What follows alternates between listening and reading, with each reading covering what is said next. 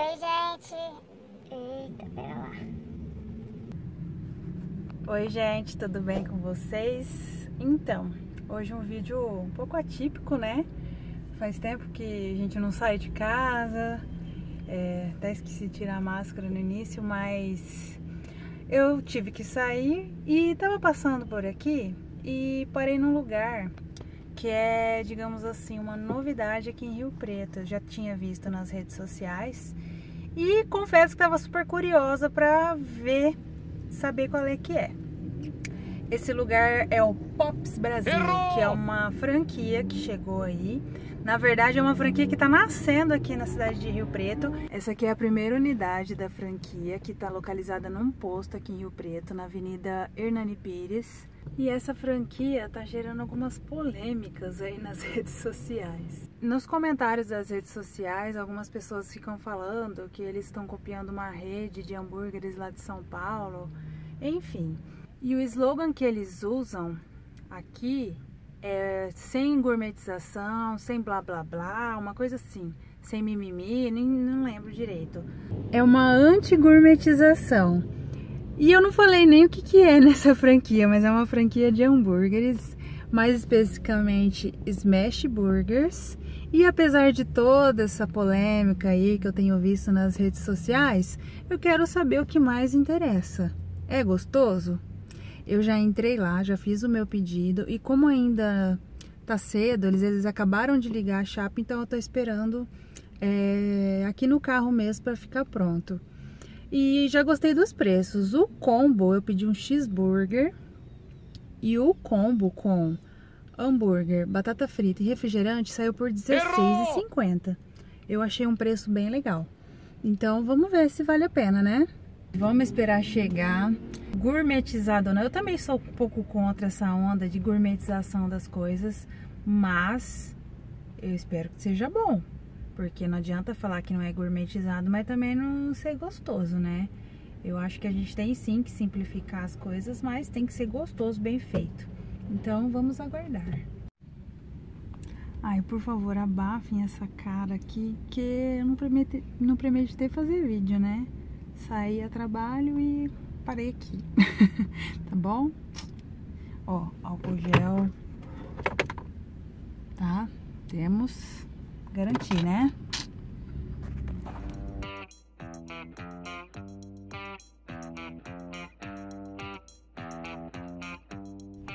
Chegou aqui, gente, o pacotinho. E eu me confundi, não foi R$16,50, foi R$14,90, mais barato ainda do que eu imaginei.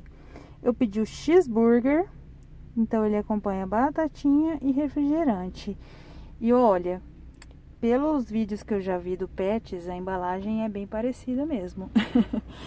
Mas tudo bem, né? Nesse mundo. Olha só. Vem aqui um, umas batatinhas, o lanche e uns molinhos.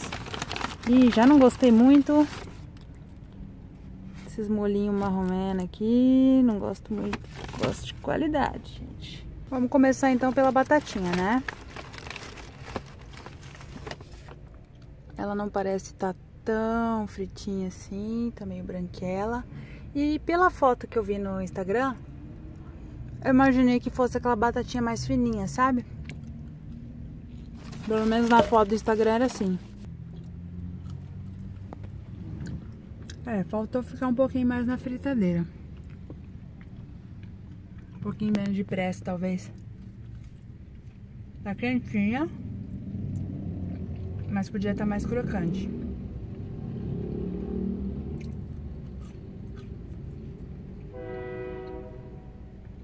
Continuar. Agora vamos ao hambúrguer. Eu imaginava até que fosse tamanho até menor, viu? Vamos ver fazer um react aqui. Hum, bonito. Olha, achei bonito, hein? Cebolinha. Vamos abrir aqui, destrinchar bonito. Ó, picles, molho e a carne. Carne que tá escondida aqui no queijo. Mas parece bonito até, né?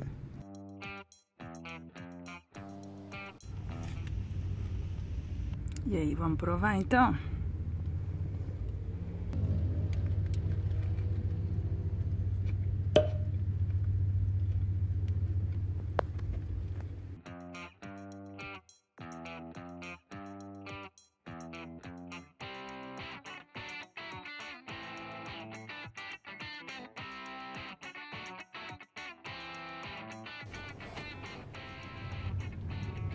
Então, galera, é... eu achei meio seco, pra falar a verdade pra vocês. Ah, primeiro de tudo, gostei muito do atendimento, fui super bem atendida, a moça veio trazer aqui no carro, é... foi muito simpática, mas o que importa no final de tudo é o nosso lanche, né? Eu achei meio sequinho a carne em si e o queijo, ele não é aquele queijo que derrete e fica cremoso, sabe? É um queijo que assim, você vê que ele derreteu aqui, mas parece que ele esfriou e virou um pedaço de plástico. Bom, essa é a impressão que eu tive. A cebola tá fresquinha, o picles também gostoso, mas a carne, o queijo e o pão em si eu achei um pouco secos. Tudo bem, a gente tá falando de um lanche, aliás, um combo inteiro que custou R$14,90. Pode até entrar para o almoço barato em Rio Preto. Mas a gente tá aqui para falar e eu tenho que falar, mesmo assim, mesmo achando barato, mesmo achando que ok, né, para matar uma fome rápida, eu achei um pouco seco. Talvez se eu pedisse um de salada, né, seria mais suculento. Mas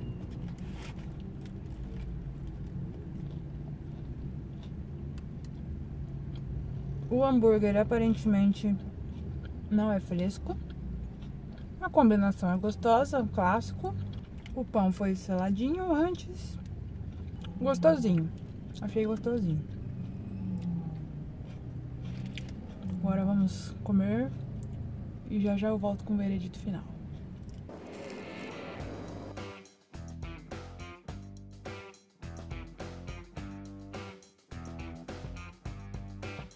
Vamos lá, gente. O que, que eu achei? Eu achei que vale o, pre... vale o preço? Vale. É uma refeição rápida, completa, digamos assim, porque vem uma bebida, uma batatinha para você ir comendo e o lanche. Eu achei que o, lan... o... a carne em si poderia ter ficado um pouco menos na chapa. O smash é aquele tempo de formar a crostinha, põe o queijo, derrete e tira. Não é porque ele é um hambúrguer fininho que ele precisa ficar esturricado. Do restante achei gostosinho, achei assim, os, os vegetais vieram frescos. O queijo, a princípio achei bonito, mas na mordida ele acaba sumindo porque ele não tem uma textura cremosa. Enfim, e a batatinha, achei que faltou um pouquinho mais de fritura para ela ficar mais douradinha, sabe?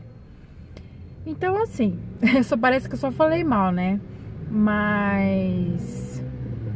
Gente, por R$14,90 eu acho que valeu. Tem também a consideração do molho, né? Que nem tirei da sacola. Mas eu acho que ok. É realmente sem gourmetização. Mas tem pontos que podem ser melhorados, tá? Não vou dizer que é o melhor smash que eu já comi, porque não é. É, inclusive agora na cidade estão tendo várias, tá, tá uma onda de bastante smash burgers aqui. E inclusive eu acho que demorou para chegar porque eu prefiro o smash do que o hambúrguer gourmet tradicional. Mas enfim, é uma opção legal, gente, uma opção nova. Eles acabaram de abrir, eu acho que tem o que melhorar ainda, mas assim, é para mim entra no rol dos fast food, sabe? Eles podiam dar um toque um pouquinho, não precisa ser gourmet, mas um pouquinho mais de frescor, para diferenciar mesmo, sabe? Desses lanches de, de redes grandes. É isso. Mas, R$14,90. A gente tá falando de R$14,90. Então... Não acho que foi uma uma, uma compra ruim. Foi uma boa compra. Foi isso, gente.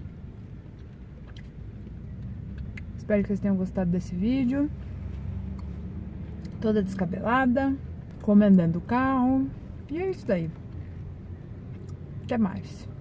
Dá uma curtida aí, comentário, ativa o sininho, se inscreve, não sei o que, não sei o que, não sei o que lá. E até a próxima.